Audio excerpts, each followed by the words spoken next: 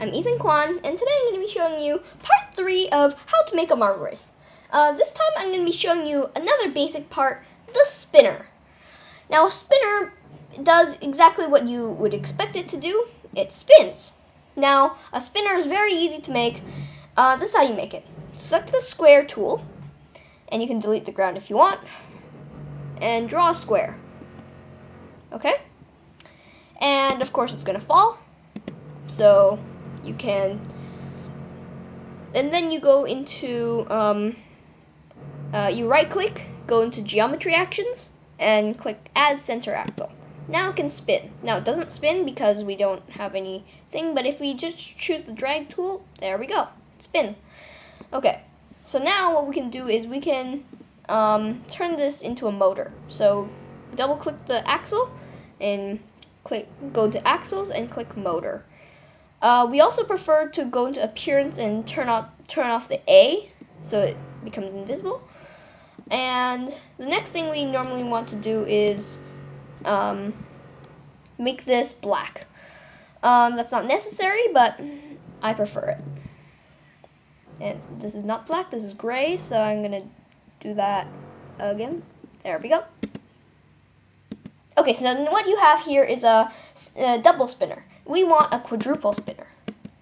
So if we, so to do that, we just hold command and there. Now nothing happened. You just hold command and click it. So what you, now what we have to do is click the rotate tool and rotate it. No wait, what did I do? Uh, rotate.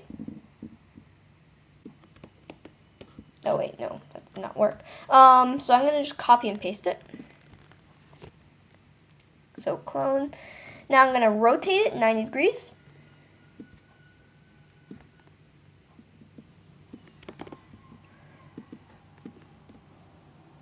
So around there. So it's right, a right angle with this. That seems about right. Now we're going to click this.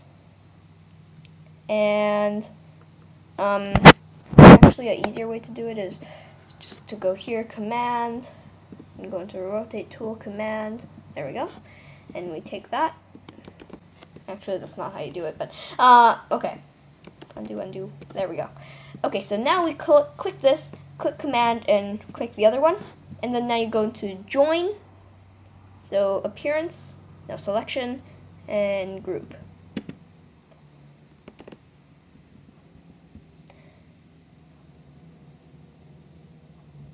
Uh, no, you have to go into geometry actions and glue together. There we go. Now we have a double spinner. That's how you make a spinner. It's really easy. You should try it. And what what what's the purpose? Well, if we make some marbles and we put this close to the ground,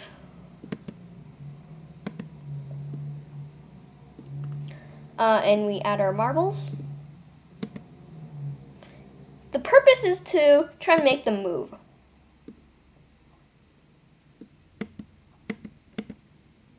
right? Okay, so that's how to make a spinner. Uh, thanks for watching again. Uh, if you if you have any questions, leave it in the comments below. Uh, also, share this video, like, and subscribe um, if you liked it, of course. And uh, see what how to do how to do so and see you next time. Bye.